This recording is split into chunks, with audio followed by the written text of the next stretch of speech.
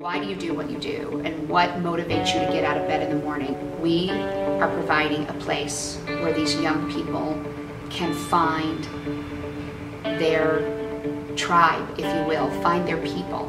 And I want to be able to give a 9, 10, 11, 12, 16, 17 year old the opportunity to have a place where they can find their people and know that them has so much to offer.